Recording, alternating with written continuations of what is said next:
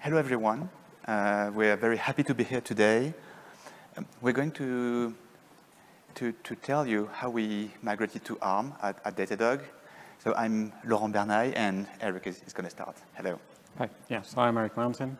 And uh, so Datadog, we're an observability, monitoring, and security platform. And uh, we, we ingest an awful lot of data. We present that data to our users. And to run all these services, we need a lot of infrastructure, tens of thousands of hosts running on dozens of Kubernetes service, uh, clusters. This uh, costs a lot of money, so we're, of course, introducing and minimizing our costs. So today, we're here to tell you a bit about, well, why did we want to migrate to ARM, uh, how we bootstrapped that initiative, how we then scaled the migration once we got past the first few applications uh, running in production on ARM, and what's our strategy today? Now that we've got a lot of applications running on ARM, what do we want to do? Um, so why ARM anyway, for a start? So the game changer was in 2019 when AWS announced the Graviton 2 based instances. Because these were the first ones to actually be somewhere on par with C5, M5 uh, type instances that are the kinds that we use typically for most of our workloads. So these Graviton 2s seemed capable of running our workloads. And synthetic benchmarks that you can find, like on Phoronix, uh, seem to indicate that indeed performance was good and even possibly better than the, the x86-based uh, offering. Um, also, these new instance types were actually 20% cheaper than the hardware equivalent uh, C5, M5, R5 uh, instances. So it seemed on paper a very good offering.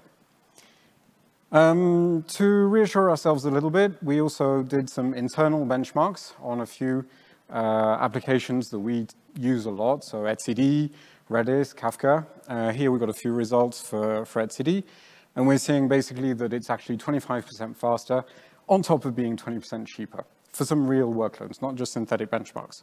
So this was rather comforting. Um, at the executive level, uh, our CTO, Alexis, he wanted us to, he gave us the mission to go out and try and migrate uh, workloads to ARM uh, to control our costs. Uh, we want to control our costs, and if we can get a certain percentage out from just migrating to ARM, well, that's already a benefit. Um, the ARM footprint is growing fast. We see AWS with new instance types. Apple was uh, driving their own Apple Silicon already at the time. Uh, so the ecosystem is maturing. Uh, we thought that most of the effort would be on platform teams like compute and build, CI, those kinds of things. We thought as well that adoption criteria would be pretty simple. Either it works or it doesn't work.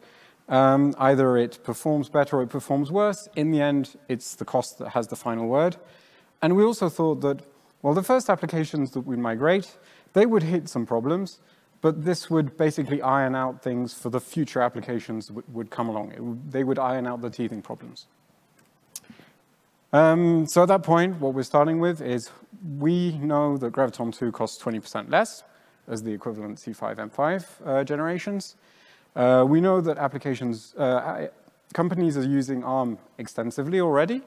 Uh, what we don't know is how that's really going to apply to our own applications in terms of performance. And we don't know to what extent we actually depend on some x86 specifics, for instance. There were some knowns, like for instance, we had applications that depended on uh, Hyperscan, which is very specific. Um, but in general, we didn't know what was going to happen. We also knew, you know, success is if we can handle the same workload at a lower price, then we've made a gain. And I'll hand over to Laurent.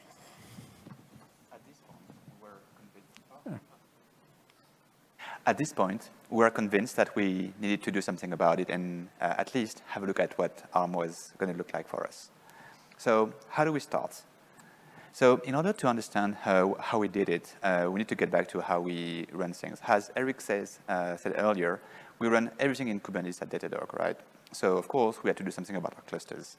Um, this is what our clusters look like, nothing surprising there. Uh, we have node pools for different applications. And, and of course, everything at the time was running on x86. So a very quick note here, I'm going to try and say x86 and ARM it's very likely that at some point I'm going to slip and say AMD 64, which might be confusing, but I'm going to do my best. In any case, it's the same. So of course, what we want to do is we want to be able to migrate some node pools to ARM CPUs to see uh, what, what it gives us for some applications. So what does this require, right? If we zoom on a node, what do we need to do to make it ARM ready? So of course, the first thing is, well, we need to make sure that it's running a distribution that supports ARM. Then we need the Kubernetes component to support ARM, so kubelet and containerd. On our nodes, we run a, a lot of shared services, right, daemon sets. Uh, we run a local cache, we run the log agent, of course, and we run Cilium to provide CNI. We also need to migrate applications, of course, right? But applications might be a bit more complex than this example here, right? Sometimes you have init containers, sidecars, a um, whole bunch of utility containers. So let's zoom on, on this and see how it went. So the first thing we did was, well, we needed to find an AMI supporting ARM.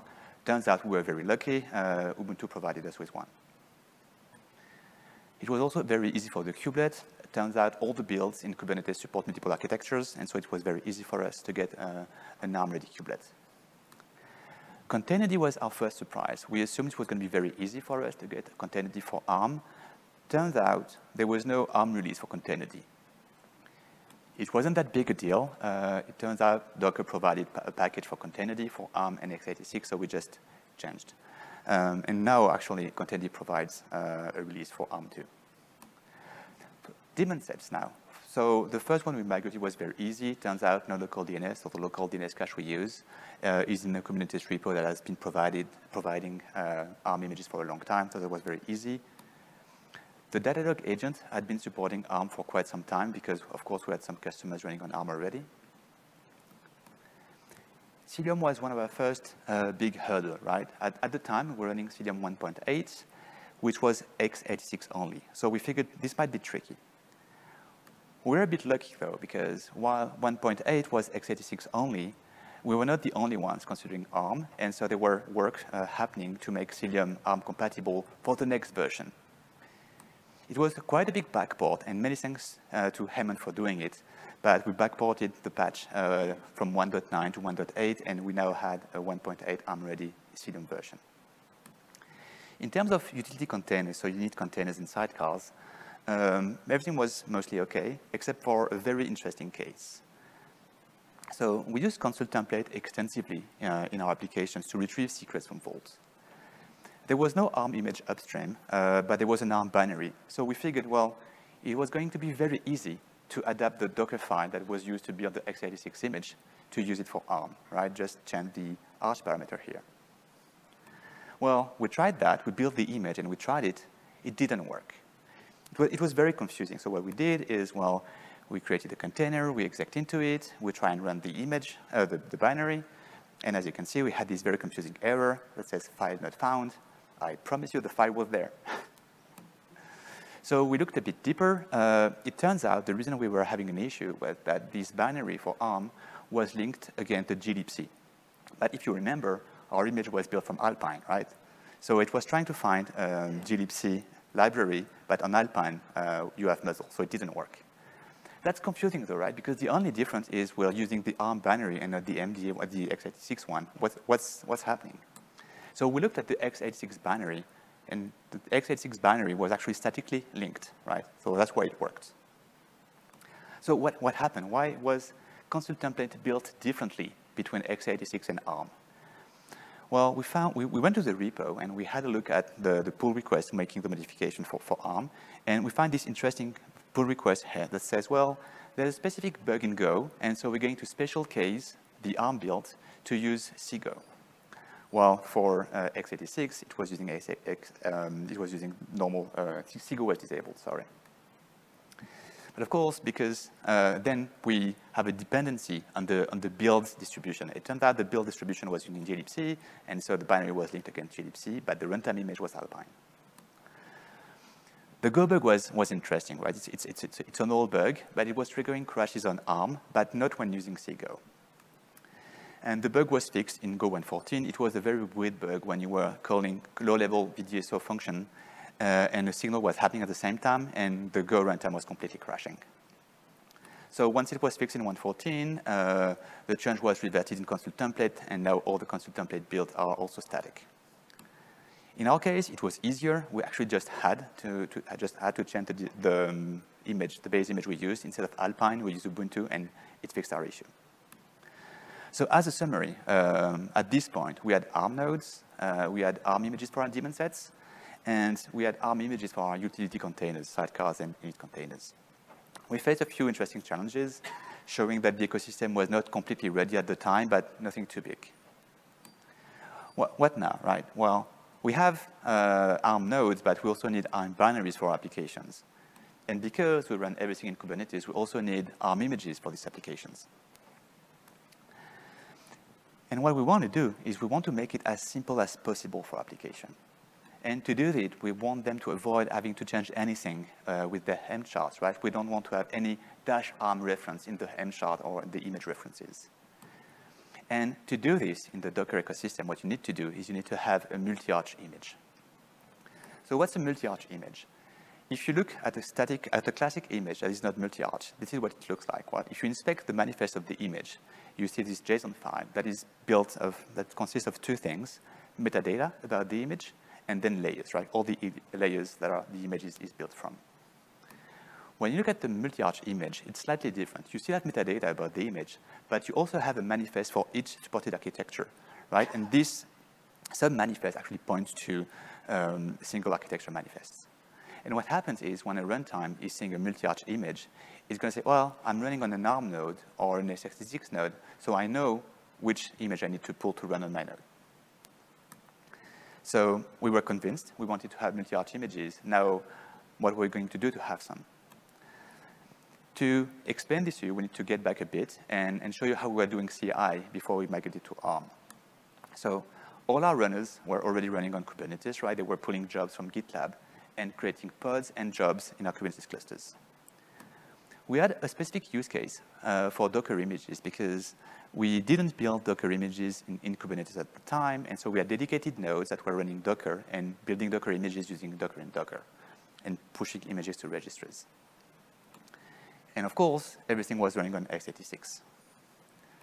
So let's see how we made our CI ARM ready. So what we wanted to achieve is we wanted the ability to run ARM, ARM pods, ARM workloads. But to do this, we need to have ARM nodes, right? We need to build all the images uh, I, I, mentioned before. So how do we start?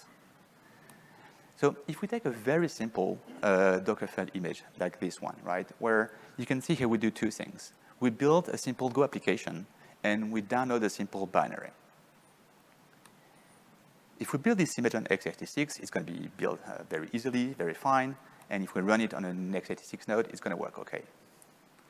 However, if we try running uh, this image on an ARM node, it's not going to work, right? Because, well, we don't have uh, an ARM version of it. Recent version of Docker's, uh, of Docker have uh, a, a, nice uh, way of building multi-arch images. If instead of using Docker build, using, you use Docker buildx to, to, to build images, you can provide a flag saying all the images you want to build for. So we tried that so on an x86 node. We tried building an image for both uh, x86 and ARM. Well, it, started, it starts okay, but as you can see in the middle of the slide, it starts breaking because at some point, we're trying to run something that doesn't work. And what's happening in where we're running our builds on an x86 node, but when we're building for ARM, what the runtime is doing, it's pulling the ARM image and trying to run what's in the Docker file.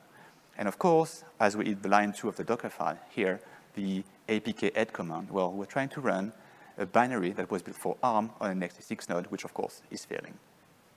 So how can we address this? Let's go back to the image. Maybe we can be a bit more clever about it.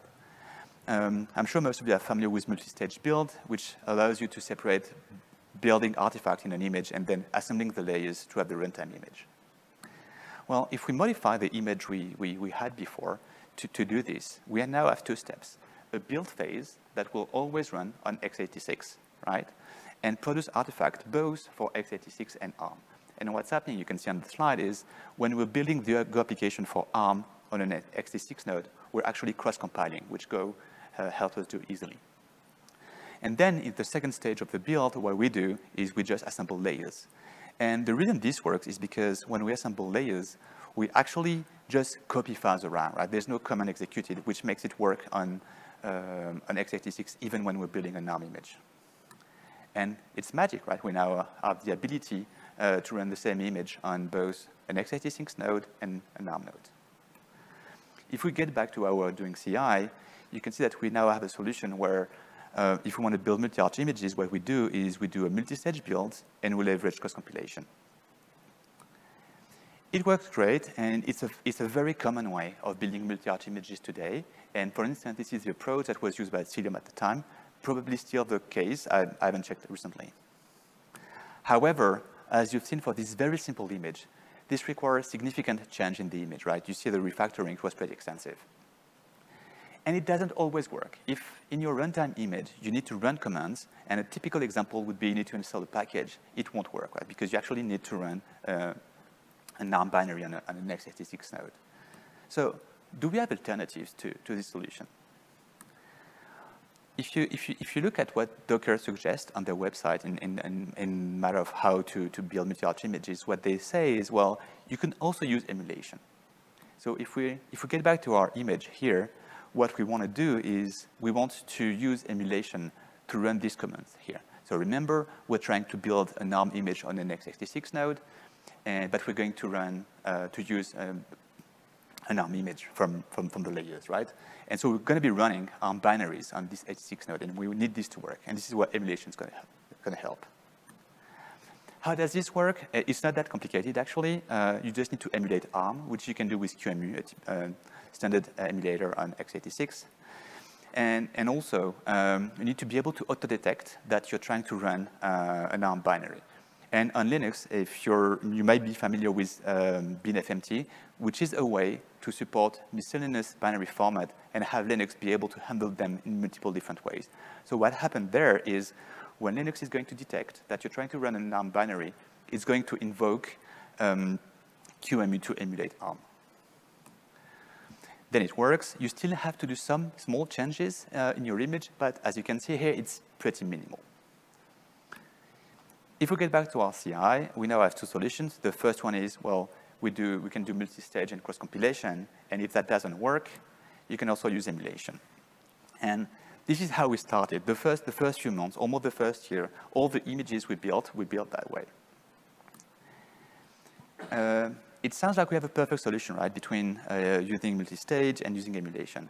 It's not that simple, actually, because emulation is actually sometimes tricky to set up. The first thing is you need the ability to install and configure emulation, which depending on how you run CI might be tricky because you need to install QEMU and you need to configure it. In addition, building a complex image uh, can take a long time. I, I gave a small example here. You can see an image taking more than an hour and a half to build. If you remember, now that we have the ability to build the, the, the basic images and to run ARM nodes, we can maybe use these ARM nodes to build ARM binary and ARM images. Let's get back to our clusters. So we have our clusters uh, running pods on x86 nodes, and we, we now have the ability to run ARM nodes too, right? Pod on ARM nodes. If we get back to our CI, we have runners able to pull jobs, and we can run this job either on x86 or ARM, uh, on ARM nodes what if we were building images uh, within this node, right? What we can do is we can run Docker builds uh, within these uh, runners, right? And we'll be able to build an image for x86 and an image for ARM. It's a bit more involved than what I showed earlier because it requires um, some orchestration because you need to do two builds, one on each architecture, and then you need to create a manifest and push it too. Docker provides a, a very nice way to make the user experience a little better uh, by using buildx and using remote builders, right? So instead of building locally when you do a Docker build, what you're going to say, is you're going to say, Docker, well, use a remote builder. And the remote builder facility uh, provided by Docker is called BuildKit.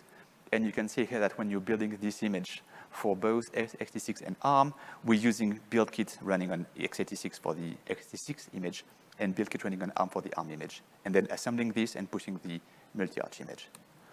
Of course, because we're now doing native builds, it's much faster. So image builds on Kubernetes are, are great, but it wasn't easy to get there. And Eric and I actually gave a talk about this uh, at a previous KubeCon, and, and we talked about all the challenges we faced to, to make it work. It's likely the best option, but has a lot of gotchas, and it might be easier to start with other options. Now that we, we've seen how we started, let's talk about what we got out of this. Yeah, so at this point, we're able to build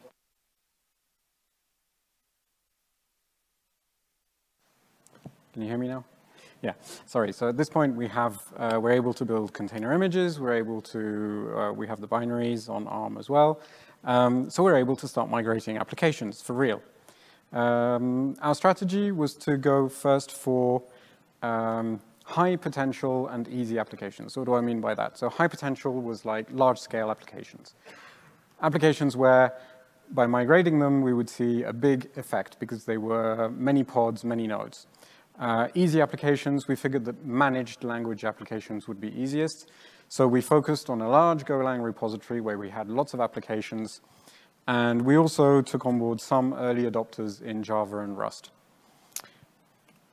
Um, the first application we migrated uh, was something that takes part in the metrics intake. So it's a very high traffic application. Today, it runs on about 4,700 pods, so it was a bit less uh, a few years back, but it was still considerable.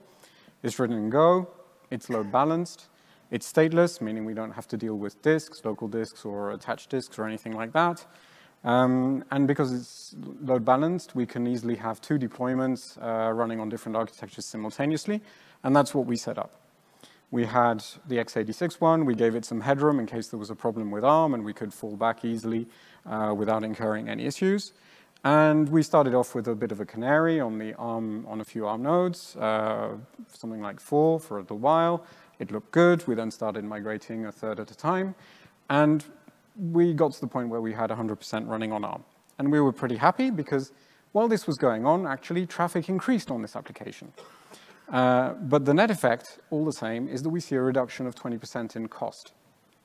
One little caveat was that it was about 3 to 5% slower, but because we were able to simply scale horizontally and the cost remained cheaper, in the end, it's a win, and we're happy with this application running on ARM. Um, we migrated a second application uh, at this point. Uh, again, part of the metrics intake uh, uh flow. Um, and this one was even better. We got 20% savings, but we also actually got 5% better throughput. It was performing even better on ARM. So here we've already got two cases, right? Two different applications behaving slightly different in terms of performance, but the net gain is, is positive. We went on migrating a few applications, and progressively we started hitting a few little bugs here and there. Um, so we'll talk about, about those. Um, one of the next challenges we went for were applications which were stateful. We have a lot of stateful applications, so we need to be able to migrate those, otherwise it's not really interesting. Um, so we have some that use local disks, and what we saw was that the instances were taking several minutes, literally, to actually boot. We traced this to LUKS volume encryption, uh, creation. This is because we were encrypting these, these volumes, and we just generate a random password at boot, and we read dev, uh, dev random to get that password. And it seems that there wasn't enough entropy on the ARM instances to get that password generated quickly. Um, so we switched to dev urandom, which is probably what we should have been reading anyway. Uh, and we talked to AWS and Canonical, and this was fixed in a later kernel. It was simply that there was an early boot uh, entropy seed that wasn't being passed in through FE, and once that was fixed, it was all good. Um, I mentioned we also had some Rust apps, uh, and the first one we migrated, we saw absolutely abysmal performance. Uh, it wasn't just 10 or 20% slower, it was like 10 times slower than x86. And we profiled that, and we realized that what was going on was that uh, the function instant now, which is reading the monotonic clock, uh, was a lot slower on, on ARM. And uh, with a simple reproducer, we were seeing that it was like 70 times slower. So the reason for this is that Rust at the time didn't trust ARM as a platform to supply a monotonic clock that worked correctly. Uh, there had been some buggy CPUs, and so Rust had implemented a solution based on a mutex to always ensure that it returned a monotonically increasing time. Um, so there were actually mitigations in the kernel so that uh, runtime languages and things like that didn't need, or user space didn't need to worry about this anymore. So there was really no justification for us to do this any longer.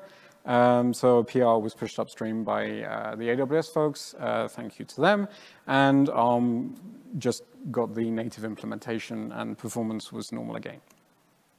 Um, we also saw some applications which would suddenly stall. So here what you can see is two cases where the uh, ready replicas count decreases by one, um, and the liveness probe kicks in uh, and kills the application. And that's why it then starts up again. Um, we, if we look closely at the CPU graph for this, uh, what we realize is that actually the idle CPU never really reaches 100% here. And in fact, there's about a three and a bit percent headroom, which is, corresponds to one CPU, uh, because this is a 32 CPU machine. And so actually one CPU is just burning away, even though the application isn't working. So we had this with about four applications. The common points were Go 118 and only happening on ARM. And we realized that actually this was a bug that was already mentioned upstream, um, in gentraceback uh, in Go, which basically builds stack traces by reading the stack, and it was misinterpreting the stack and ending up in an infinite loop. So what we did there is, uh, oh, and it's exacerbated by profiling, which we happen to do absolutely everywhere in Go, or almost everywhere. Uh, so there was a fix available upstream. We patched locally until it was released because it was in 119. Uh, we had a bit of a gotcha because we were also in the middle of migrating uh, macOS laptops from x86 to M1 at the time, and so we had to provide both builds of Go with that fix, and we weren't really equipped to maintain local Go builds. Anyway, at this point, so we've migrated a number of applications. Uh, we've got about 15% uh, of CPU cores uh, on AWS that are using ARM, thanks to all the applications we've migrated bit by bit. Um, we've seen some lack of maturity in the ecosystem, uh, especially in 2021, 2022, but beyond that, we stopped really seeing any problems, or not so many problems. Um, performance isn't always as good as hoped, uh, but all the same, it's very promising when we consider the overall cost reduction. So then what we wanted to do was go further. How do we scale this to the organization? So we recap a little bit, um, first half of 2021, we did the first tests, first benchmarks, uh, and gave ourselves a little bit of confidence. In the second half of 2021, we did all this platform setup with the CI, and uh, in the first half of 2022, we started migrating a first few real applications, hitting bugs in real life and fixing them little by little. Um, and by the end of 2022, we'd migrated all our main repositories, all our large repositories to support ARM, produce the binaries, produce the container images, and we had some of our largest services migrated, hence the 15% CPU cores running on ARM. So then uh, our CTO, Alexis, uh, he said, well, now what I would like to see is all the applications that can run on ARM, I would like them running on ARM by the end of 2023. So we set up a program. Uh, we got some technical project managers working on this.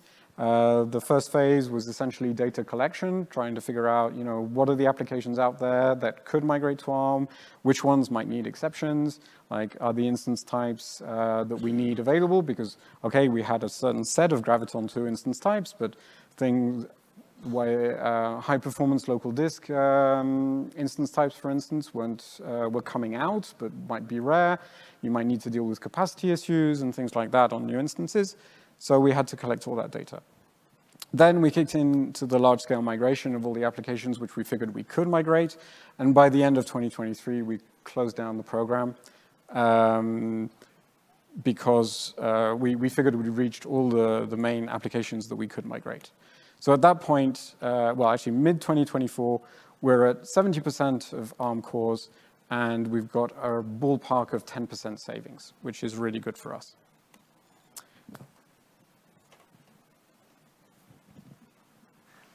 So at this point, uh, we've, we've seen the initial success, we've seen large-scale migration, and we're at the end of 2023, which is uh, about a year ago. And the question is, what's next? So if we get back to the original target we had, right, we, we did all these because we expected savings. And as Eric said, we're saving about 10% on compute costs, and you can imagine that at, at our scale, it's pretty significant. And, and, so if the goal is to reduce costs, we need to keep in mind that instance types keep changing and evolving, right? All the business case we built from the beginning was comparing C5 and C6Gs, so all the generation instances, but new instances had been released. And so we need to do this test over and over. So we need to consider new instance type, newer instance types, but also other CPUs, right? Uh, we've mentioned x86 up until now, but when we said x86, uh, we're only seeing uh, mentioning Intel. Turns out AMD was releasing new instances, uh, and some, some of them looked pretty promising. We've also mostly considered AWS because AWS was uh, the first cloud provider to support ARM CPUs. So what about cloud providers? What about other cloud providers? So the, the first thing we did uh, is we automated the internal benchmarks we do, right? So we take synthetic benchmarks that are available and we run them on all the instances we, we have, right? All the instance types that are, that are possible. And that allows for easy comparison between instance types. And you can see here a comparison of all 4x large instance types on AWS and how they perform for two types of benchmark, um, Stockfish and CoreMark. So that's interesting, but that's synthetic benchmark, right? One of the challenges we've seen with, with, with ARM CPUs is they tend to perform pretty well in benchmarks, uh, like very well, as we've seen at the beginning with 20% faster, for instance. But for real-life applications, we tend to see gains sometimes, uh, and sometimes a bit, um, sometimes a bit slower, but it, it's not 20% better. So what about real applications? So for some applications, uh, we actually have the ability to test them at a pretty large scale and, and in a pretty automated way. So we have a team that is very good at doing this, and what they do is they test their application on multiple instance types. And, and then they can tell us, well, on this instance type, I'm able to do this amount of work uh, in, an, in an hour. This graph here, for this very specific application, once again, it's not valid for every, every application, is, is saying, well, if you run this application on, uh, I don't know, um, C7A, for instance, which is uh, the latest, one of the latest AMD instances, you're going to get 40% more work done um, a, in an hour than if you run it on a C6i, which is uh, an Intel uh, version of it. We also have list prices for all these instance types, right? It's, it's public, uh, public prices. And so what we can do is we can take these two numbers, so the work we get done per hour and the hourly cost of the instances to compare, to, to, to integrate both numbers and see which instance types are the most cost efficient for this specific application. And this is a graph we get, right? If uh, the graph is showing the what it costs to uh, to run a unit of work uh, on across all instance types for this application compared to C6i. And as you can see here, uh, everything that's green is it means it's cheaper than C6i, which is a reference application. And we can see that we have a few uh, CPUs that are actually cheaper uh, to run this, uh, this application. So we have two sets, uh, two ARM CPUs, Graviton 3 and Graviton 4, and two AMD CPUs, uh, the Gen 3 CPUs and the Gen 4 ones. And you can see that savings are actually pretty significant for this application. We're talking about almost 15% in some cases. So this is the ideal case, right? The case where you can, um, where you can run the application, you can run large-scale tests we have many applications that can't do this type of testing, right? And in that case, we, we wanted to have high-level guidelines for the application. And we, we have this very high-level guideline that application can use. The first one is, if you're not CPU-bound, use Graviton 2. And why use Graviton 2 is because, well, it's the cheapest cores, right? So use them, it's gonna be, it's gonna be the best for you. If your application is CPU-bound, but it can auto-scale, use the CPUs that have the most uh, cost-efficient profiles. So exactly the test I was showing before, and same results, right? I use the latest AMD CPUs or use the latest Graviton instances.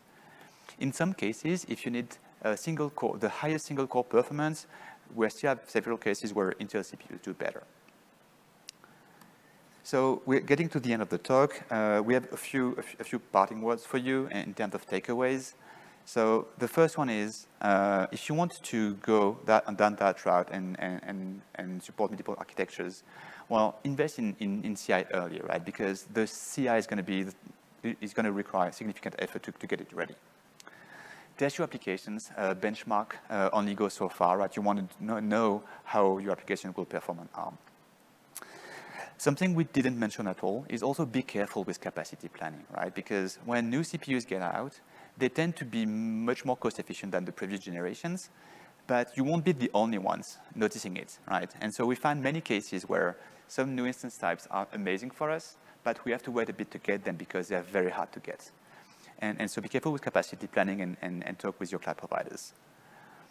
Um, ARM is clearly here to stay. Uh, I don't know if you've seen, but last week, GCP announced their own uh, ARM CPUs built in-house called Axion, which means they also, they're also uh, doing a significant in investment in ARM.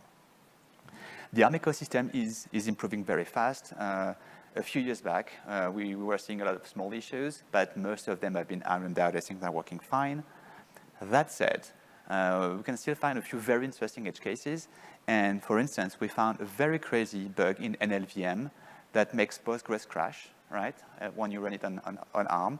And we're going to publish a blog post uh, with all the details soon. So it's rare, but you can find very interesting and weird issues.